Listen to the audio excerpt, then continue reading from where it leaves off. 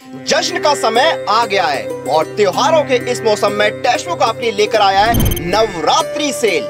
जी हाँ इस 14, 15 और 16 अक्टूबर को आपको मिलेंगे शानदार ऑफर्स और डिस्काउंट सभी सुपर कोचिंग पर। तो अगर आप इन एग्ज़ाम्स की तैयारी कर रहे हैं तो अभी जाइए और इन शानदार ऑफर्स का लाभ उठाइए।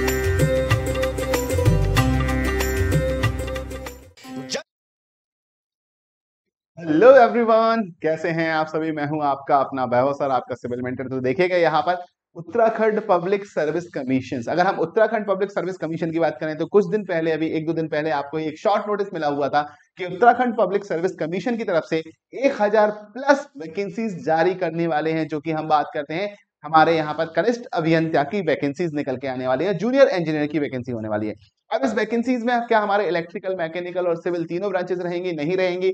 क्या एलिजिबिलिटी क्राइटेरिया होने वाला है? अगर हम बात करते हैं एलिजिबिलिटी क्राइटेरिया तो ठीक है सर सिलेबस क्या होगा? एग्ज़ाम पैटर्न क्या होगा? किस तरीके से होने वाला है? कितनी वैकेंसी किस डिपार्टमेंट में है? सर, क्या ये परमानेंट है या टेम्परेरी है? तो ऐसे कई सारे क्वेश्चन हमारे जो बच्चों के मन में आ रहे हैं, वो सारे इस एक वीडियो में यहाँ पर क्लियर होने वाले हैं, क्योंकि डिटेल नोटिफिकेशन यहाँ पर रिलीज़ कर दिया गया है, उसके बारे में हम यहाँ पर डिस्कशन करने वाले हैं। तो फटाफट से वीडियो को शेयर और लाइक कर दीजिएगा गाइज़ और जल्दी से जल्दी चैनल को सब्सक्राइब कर लीजिएगा, क्योंकि इससे रिलेटेड सारी अपडेट आपको यहाँ पर वन बाय वन मिलने वाली है। तो देखो, उत्तराखंड अगर हम पब्लिक सर्विस कमीशन की रिक्रूटमेंट नोटिफिकेशन की तरफ़ जाते हैं तो यहाँ पर एडवर्टाइजमेंट जो है वो यहाँ पर चौदह दस दो को रिलीज़ हो गया है और एंड डेट जो है वो तीन ग्यारह दो रखा गया है। तो इस एडवर्टाइजमेंट के यहाँ पर पीडीएफ पे क्लिक करते हैं तो आपको एडवर्टाइजमेंट यहाँ पर पूरा का पूरा ओपन हो जाएगा। और जब एडवर्टाइजमेंट को ओपन करते हैं आप यहाँ पर तो इस एडवर्टाइजमेंट के अंदर आपको क्या लिखा हुआ है? सबसे पहले लिखा हुआ है यहाँ पर कि जो विज्ञापन की विज्ञापन प्रकाशन की तिथि है, वो आपका कितना है? चौदह अक्टूबर होने वाला है और ऑनलाइन आवेदन करने की जो अंतिम तिथि है,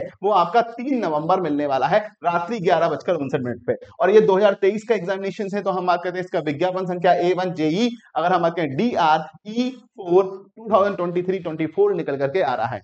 नेक्स्ट में बात करूँगा परीक्षा शुल्क जमा करने की। फॉर्म तो आप तीन तारीख तक, तीन नवंबर तक परीक्षा शुल्क भी आप क्या होगा? आपको ऑनलाइन माध्यम से पेमेंट करते हुए तीन नवंबर 2023 तक फिलअप कर देना रात को 12 बजे के पहले, ठीक है? अगर हम बात करेंगे नेक्स्ट आवेदन पत्र में संशोधन का जो परिवर्तन है, अगर आपका कोई एरर हो जाता है, कोई गलती हो जाती है तो गलती के लिए आप अपना एडिट कर सकते हैं। और एडिट करने का जो डेट है वो 10 से लेकर के 19 नवंबर के बीच में होगा। मध्य रात्रि तक अगर हम बात करें रात्रि के 12 बजे तक निकल करके आएगा।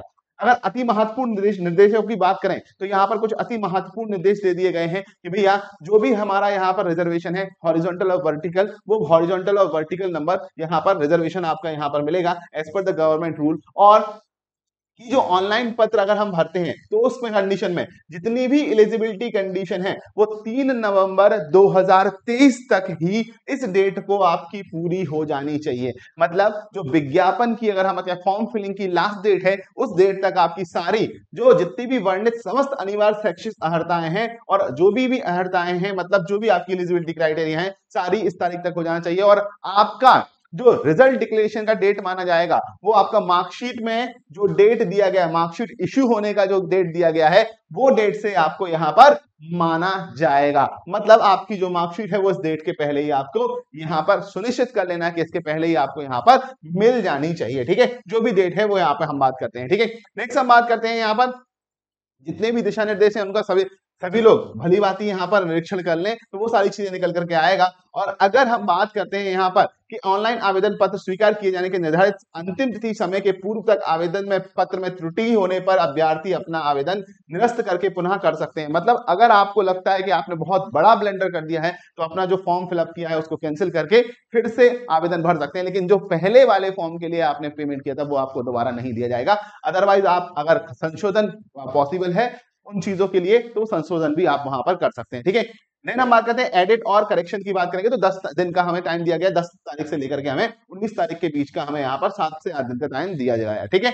नेक्स्ट मैं बात करता हूँ यहाँ पर जो यहाँ पर रिजर्वेशन रिलेटेड रिजर्वेशन रिलेटेड नियम है, वो एज पर रहेंगे और उसके अकॉर्डिंगली वैकेंसीज का यहाँ पर पूरा का पूरा विवरण आपको दे दिया गया मतलब क्लैरिफिकेशन दे दिया गया है किस, अगर हम बात करते हैं किस पोस्ट के लिए जो रिजर्वेशन होगा वो किस तरीके से निकल करके आ रहा है और किस तरीके से सीटों का आवंटन किया गया है, ठीक है? नेक्स्ट में बात करूँगा यहाँ पर, जो भी आपके यहाँ पर होगा, ठीक है? तो अगर हम बात करते हैं जो जो भी आपके डॉक्यूमेंट्स हैं, आप फॉर्म फिलिंग करने के बाद अपने पास रख लेंगे। और फॉर्म फिलिंग करने के बाद हार्ड कॉपी भी रखना है क्योंकि जब फाइनल आपका डॉक्यूमेंट वेरिफिकेशन होगा, उस समय वो वो कॉपी भी आपको वहाँ पर ले जाना है। तो कई बच्चे ऐसा नहीं करते हैं, बाद में फिर बोलते हैं कि यार, सर, ये नहीं मिल रहा है, वो नहीं मिल रहा है। तो भैया, जब भी फॉर्म फिलअप करो, उसकी हार्ड कॉपी ज़रूर रखना, एक सॉफ्ट कॉपी भी सेव करके रखना, कभी हार्ड कॉपी अगर मिसप्लेस हो जाती है तो आप दोबारा से उसका प्रिंट आउट निकलवा सके, ठीक है? तो हम बात करते हैं, यहाँ पर एक कंडीशन निकल करके आती है। और जब भी आपका सिलेक्शन होता है तो उसमें जो भी आपके सर्टिफिकेट है, वो आपको वहाँ पर प्रस्तुत करना पड़ेंगे तो उनका भी विशेष तौर पर आप ध्यान रखिएगा, ठीक है? जो हम बात अंतिम चयन होगा, उसमें दो गुना अभ्यर्थी को बुलाया जाएगा, उनका डॉक्यूमेंट वेरिफिकेशन होगा और आफ्टर दैट डॉक्यूमेंट वेरिफिकेशन के बाद फाइनल मेरिट लिस्ट यहाँ पर बन करके आएगी कि किस तरीके से निकल करके आएगा। और डॉक्यूमेंट जो होगा वो उत्तराखंड लोक सेवा आयोग संरक्षा स्टूडनी मार्गदर्शिका दो हज़ार के अकॉर्डिंग हमारा होने वाला है, ठीक है? तो यहाँ पर एक कंडीशन निकल करके आती है।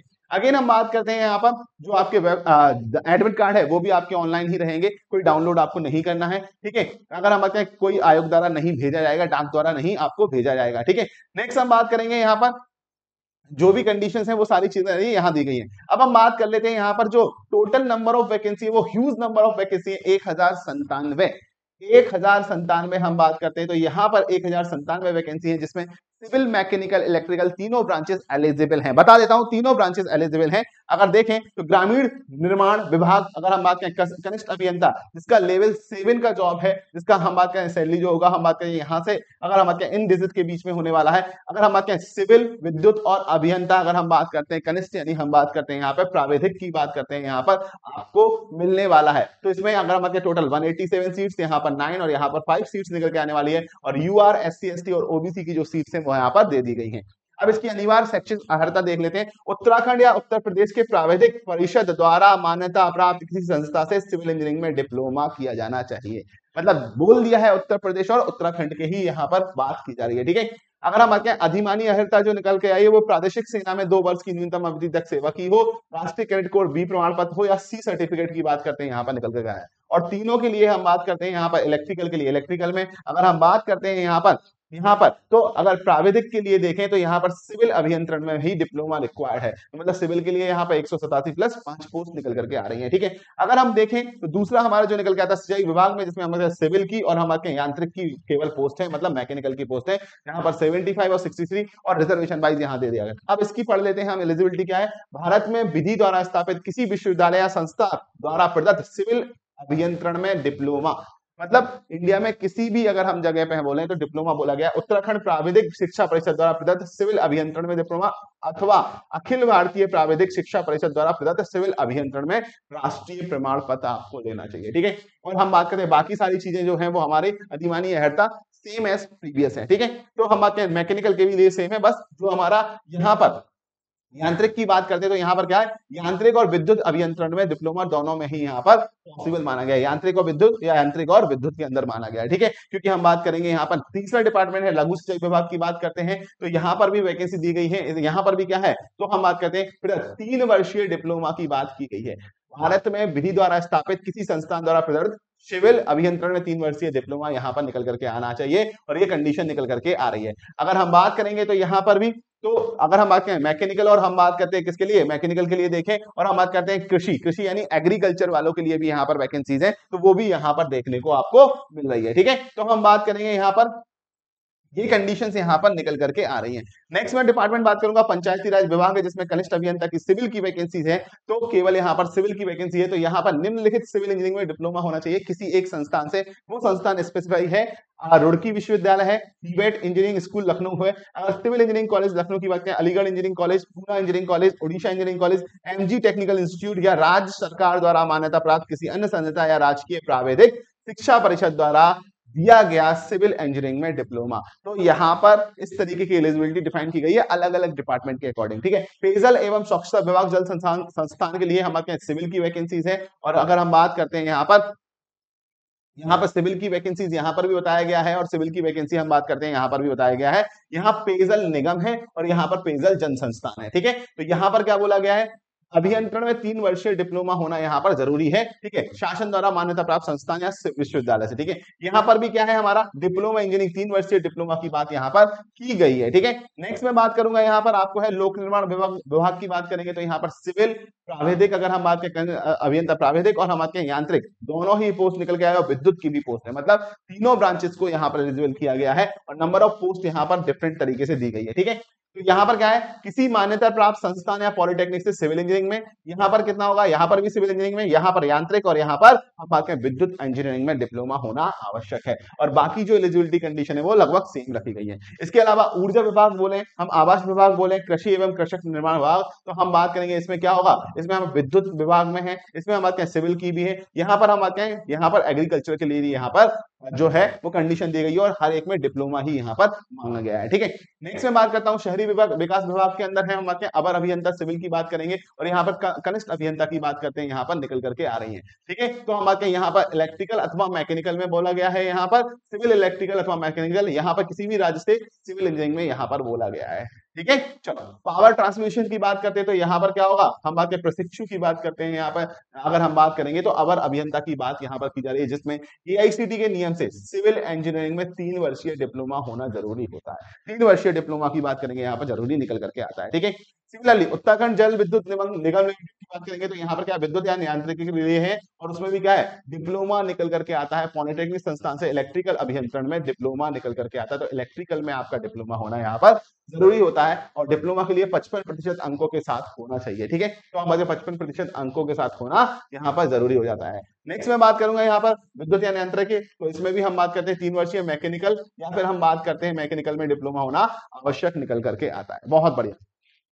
तो इस तरीके से हमारे डिफरेंट डिपार्टमेंट में जो है, वो डिप्लोमा यहाँ पर एलिजिबिलिटी कंडीशन माना गया है। नेक्स्ट हम बात करेंगे पद का स्वरूप जो होगा, वो हमारा पेंशन के प्रकार होंगे। तो देखो, स्थायी और अस्थायी पद सभी हैं। देखो, ज़्यादातर पद जो है, वो स्थायी पद निकल करके आ रहे हैं और अंशदायी पेंशन युक्त निकल करके आ रहे हैं, जिसमें हम बात करेंगे यहाँ पर एक दो डिपार्टमेंट में जिसमें अस्थायी पद है। जैसे कि बात करेंगे आवास विभाग, अपर अभियंता सिविल के में अस्थायी पद यहाँ पर निकल करके आ रहा है। अगर मैं बात करूँगा यहाँ पर, उत्तराखंड अक्षय ऊर्जा विकास अभिकरण उरेड़ा कनिष्ठ अभियंता अस्थायी निकल करके आ रहा है और हम बात करते हैं यहाँ पर अस्थायी यहाँ पर निकल के आ रहा है, उत्तराखंड जल विद्युत निगम लिमिटेड के अंदर अस्थायी निकल के आ रहा है। और साथ ही साथ यहाँ पर भी अस्थायी है तो ये अस्थायी पद है, बाकी सारे स्थायी पद है तो कंफ्यूजन क्रिएट नहीं होना चाहिए स्थायी है, अस्थायी दोनों मिलाकर अस्थायी पद बहुत कम है। हम बात करते हैं कंडीशन निकल के आ रही है। अब यहाँ पर पदों का विवरण जो दिया गया है, वो कैटेगरीज वाइज दिया गया है।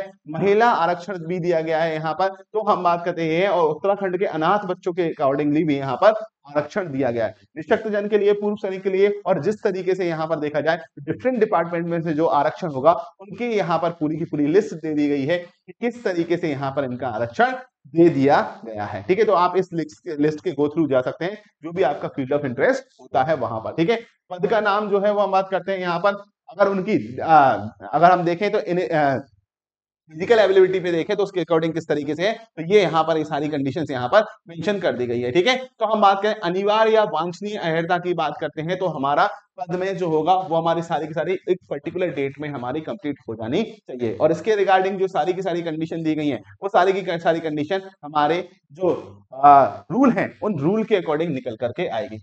न्यूनतम और अधिकतम आयु डिफरेंट डिफरेंट डिपार्टमेंट में अलग है। अगर मैं एक कॉमनली बात करूँ तो 21 से लेकर के 42 साल तक देखा गया है बट कुछ डिपार्टमेंट्स के अंदर 18 साल भी यहाँ पर एलिजिबल किया गया है। जैसे ग्रामीण निर्माण विभाग के अंदर 18 साल दे दिया गया है, और हम क्या पंचायती राज विभाग के अंदर अठारह साल दे दिया गया है, और हम बात करेंगे यहाँ पर जो होगा हमारा पावर ट्रांसमिशन कॉर्पोरेशन के अंदर मिनिमम आयु जो है वो अठारह साल दे दिया गया है। उत्तराखंड जल विद्युत के अंदर हम बात करते हैं, यहाँ पर अठारह साल दे दिया गया है। तो बाकी सभी में 21 से 42 साल के अंदर होना चाहिए, ठीक है? 21 से 42 साल। और यहाँ पर एक स्टेटमेंट लिखा है, ऐसे अभ्यर्थी जिनके द्वारा पूर्व में उत्तराखंड लोक सेवा आयोग द्वारा निरस्त की गई, उत्तराखंड सम्मिलित राज्य कनिष्ठ अभियंता सेवा परीक्षा 2021 जो 2021 में एग्जामिनेशन हुआ था ऐसे अभ्यर्थी उत्तराखंड सम्मिलित राज्य कनिष्ठ अभियंता कि अगर परीक्षा में सम्मिलित होना चाहते हैं तो उनकी आयु सीमा का जो निर्धारण अंतिम तिथि एक सात दो हज़ार तेईस को अधिवयस हो रहे हैं, ऐसे अभ्यर्थियों को प्रश्नगत परीक्षा में सम्मिलित किया जाएगा। मतलब एक स्पेशल क्लॉज दे दिया गया है कि 2021 में जो कैंसिल हुई थी, उनके लिए जो आयु की गणना होगी वो एक सात दो के अकॉर्डिंग होने वाली है। ठीक है? अधिकतम आयु में छूट जो होगा, वो रिजर्वेशन के अकॉर्डिंग आयु में छूट किस तरीके से दिया गया है और आरक्षण किस तरीके से दिया गया है, ये सारी कंडीशन यहाँ पर हम बात करते हैं, आप देख सकते हैं। अगर अगर आपको इसमें कोई डाउट होता है तो कमेंट सेक्शन में ज़रूर पूछ सकते हैं। वहाँ पर मैं आपको ये सारी चीज़ें क्लियर कर देता हूँ। ठीक है? कर दूँगा ठीक है? चलो। तो हम बात करते हैं ये कंडीशन निकल करके आ रही है। तो हम बात करते हैं कंडीशन निकल करके आ रही है तो ये कंडीशन यहाँ पर हमें पढ़ लेनी है। राष्ट्रीयता की बात करते हैं तो सेवा में किसी पद पर सीधी भर्ती के लिए यह आवश्यक है कि अभ्यर्थी भारत का नागरिक हो तिब्बती शरणार्थी हो, भारतीय मूल का व्यक्ति जिसे भारत में स्थायी रूप से बसने का आशय अगर हम बात करते हैं तो यहाँ पर निकल करके आ रहा है, ठीक है? तो यहाँ पर राज्य सरकार, जिसके पक्ष में राज्य सरकार द्वारा पात्रता प्रमाण पत्र जारी किया गया है, वो यहाँ पर एलिजिबल निकल करके आ रहा होता है। यहाँ पर एलिजिबल निकल के आता है। अगर इन कंडीशन में है आप, गा वाली कंडीशन में है, खा और गा वाली कंडीशन में तो प्रमाण पत्र ज़रूर यहाँ पर निकल करके आना चाहिए, ठीक है? तो हम बात करते हैं यहाँ पर एक कंडीशन निकल करके आ रही है। अगर हम बात करें अभ्यर्थी के मामले में पात्रता प्रमाण पत्र आवश्यक हो, किंतु ना तो जारी किया गया हो और ना अस्वीकार किया गया हो। अगर चरित्र की बात करें तो यहाँ पर यहाँ पर कंडीशंस बोल दी गई है कि जो क्या कंडीशन है, वो आपका करेक्टर क्या होना चाहिए? वैवाहिक स्थिति यह बोली गई है एक से ज़्यादा हस्बैंड या वाइफ नहीं होना चाहिए, ठीक है? एक पुरुष के एक से ज़्यादा वाइफ और हम बात करते हैं एक हस्बैंड एक महिला के एक से ज़्यादा हस्बैंड नहीं होना चाहिए, ठीक है? तो हम बात करते हैं शारीरिक कंडीशन हम बात करते हैं जो हमारी अवेलेबिलिटी है, उन कंडीशन को फुलफिल होना चाहिए। आवेदन आपको ऑनलाइन ही करना है। अगर ऑनलाइन करने की प्रक्रिया है तो आपकी UKPSC dot net dot in पर आपको यहाँ पर मिल जाएगी advertisement detail and all that process आपको यहाँ पर मिल जाएगी, ठीक है? नेक्स्ट हम बात करेंगे जो यहाँ पर होगा। तो जो आपको जो भी यहाँ पर हम बात करते हैं फ़ोटो सिग्नेचर जो भी यहाँ पर करना है, वो क्लियरली यहाँ पर अपलोड होने चाहिए फ़ोटो एंड सिग्नेचर बिल्कुल केयरफुली अपलोड अपलोड यहाँ पर करना है, उसके रिगार्डिंग यहाँ पर एक कंडीशन दिया गया है, ठीक है? नेक्स्ट मैं बात करता हूँ नेक्स्ट में बात करूँ फाइनल सबमिशन जब हो जाएगा तो संशोधन करने के लिए आपके कुछ समय के लिए यहाँ पर खोला जाएगा और उस दौरान आप अपने फॉर्म में संशोधन भी कर सकते हैं, ठीक है? अगर हम बात करते हैं, जो फ़ीस रहेगी वो अनारक्षत के लिए 150 रहेगी टोटल मिलाकर के जो टैक्स वगैरह मिलाकर के एक उत्तराखंड अनपिछड़ा वर्ग उत्तराखंड अनुसूचित जाति अनुसूचित जाति, और हम बात करें शारीरिक विकलांग के लिए, जो है वो हम बात करते हैं शारीरिक दिव्यांग और उत्तराखंड राज्य में संचालित स्वैच्छिक राजकीय ग्रहों में निवासरत अनाथ बच्चों के लिए कोई भी शुल्क नहीं। लिया जाएगा। कोई भी शुल्क नहीं लिया जाएगा केवल प्रोसेसिंग फ़ीस इनके लिए यहाँ पर देने वाले हैं, ठीक है? अगर हम बात करते हैं परीक्षा से संबंधित जो महत्वपूर्ण निर्देश है, वो यहाँ पर दे दिए गए हैं। लेकिन इसका एग्ज़ाम पैटर्न अगर मैं चेक करूँ, ठीक है? तो एग्ज़ाम पैटर्न चेक करता हूँ तो एग्ज़ाम पैटर्न क्या होगा यहाँ पर? वो थोड़ी सी बात कर लेते हैं यहाँ पर कि एग्ज़ाम पैटर्न जो होगा वो हमारा ऑब्जेक्टिव एग्ज़ाम होने वाला है, जिसमें हमारा निगेटिव मार्किंग भी होती है। जिसमें हमारा क्या होता है? निगेटिव मार्किंग भी निकल करके आ रही होती है। अब एग्ज़ाम पैटर्न जैसा कि आप बहुत सारे बच्चे यहाँ पर जानते भी होंगे कि यहाँ पर क्या होने वाला है तो वो यहाँ पर थोड़ा सा मैं डिस्कस करना चाहूँगा कि एग्ज़ाम पैटर्न क्या है। एग्ज़ाम पैटर्न में आपका यहाँ पर ऑब्जेक्टिव एग्ज़ाम होते हैं, जिसमें चार ऑप्शन होंगे। चार ऑप्शन में से एक ऑप्शन सही होगा। अगर गलत मार्क करते हैं तो आपको वन बाई फोर निगेटिव भी रख दिया जाता है। और आपके जो सेंटर होंगे वो उत्तराखंड के अंदर, इन चौदह डिस्ट्रिक्ट के अंदर आपको देखने को मिल रहे होते हैं। चौदह नगरों के अंदर आपको देखने को मिल रहे होते हैं, जिनके यहाँ पर कोड दे दिए गए हैं। ठीक है? नेक्स्ट मैं बात करूँगा यहाँ पर कि जो आपका एग्जामिनेशन है, पहला एग्ज़ाम जो होगा वो सामान्य योग्यता परीक्षण होगा। सामान्य हिंदी का सौ नंबर का पेपर होगा, जिसमें सौ, अगर हम सौ प्रश्नों का पेपर होगा, जिसमें पूर्णांक होगा सौ नंबर और हमारे दो घंटे की समय अवधि होगी। सामान्य अंग्रेज़ी का पेपर होगा, जिसमें सौ नंबर होगा और हमारे सौ नंबर का प्रश्न पत्र में एक अंक का प्रत्येक प्रश्न होगा और दो घंटे का यहाँ समय देगा। उसके बाद आपका अभियंत्रण का पेपर होगा, जिसमें सिविल इंजीनियरिंग, मैकेनिकल, इलेक्ट्रिकल और एग्रीकल्चर के रिस्पेक्टिव 180 क्वेश्चन होंगे, जिनके लिए तीन घंटे दिया जाएगा। और हम बात करते हैं, प्रत्येक प्रश्न दो अंक का होगा तो टोटल मिलाकर के 920 अंक का आपका एग्जामिनेशन होने वाला है। ठीक है? तो हम बात करते हैं यहाँ पर। तो इनका जो सिलेबस है, ठीक है? तो हम बात करते हैं यहाँ पर। तो हिंदी और इंग्लिश का जो सिलेबस है, वो सभी के लिए सेम रहने वाला है। बाकी जो भी सिलेबस है, वो यहाँ पर मेंशन आपको कर दिया गया है। तो यहाँ पर सबसे अच्छी बात है टॉपिक वाइज नंबर यहाँ पर दे दिए गए हैं। किस टॉपिक से कितने मार्क्स का आना है तो इक्वली वेटेज दे दिया गया है तो आप टॉपिक वाइज यहाँ पर अपनी चीज़ों को प्रिपेयर कर सकते हैं, ठीक है? नेक्स्ट इंग्लिश के लिए भी इसी तरीके से यहाँ पर दे दिया गया है कि आपको किस तरीके से करना है। अब सिविल इंजीनियरिंग की बात करें तो सिविल इंजीनियरिंग अगर हम बात करते हैं मैकेनिकल इंजीनियरिंग और इलेक्ट्रिकल इंजीनियरिंग का कंप्लीट पेपर यहाँ पर दे दिया गया है और कंप्लीट सिलेबस आपको दे दिया गया है, जो आप यहाँ पर देख सकते हैं। और अगर आप चाहते हैं कि सिविल इंजीनियरिंग के लिए मैं अलग से एक सिलेबस लेकर के आऊँ, जिसमें आपको पूरा डिफाइन करूँ क्या चीज़ें हैं, कहाँ से पढ़ना है, क्या नहीं पढ़ना है तो उसके लिए आप कमेंट सेक्शन में बताइएगा। मैं यहाँ पर एक वीडियो यहाँ पर डिफाइन कर दूँगा, जिससे आपको ये सारी की सारी चीज़ें क्लियर हो जाएँगी। So this was all about the UKPSC guys और एक बहुत बड़ी रिक्रूटमेंट है अगर हम बात करें तो बिल्कुल आप बिल्कुल जोरों शोरों से लग जाइएगा और जल्दी ही ये रिक्रूटमेंट कंप्लीट भी होगा। बिल्कुल फॉर्म फिलिंग स्टार्ट हो चुकी है, अपने फॉर्म को जाकर के फिलअप कर लीजिएगा, उससे पहले सारी गाइडलाइंस प्रॉपरली पढ़ लीजिएगा। Okay thank you everyone and love you guys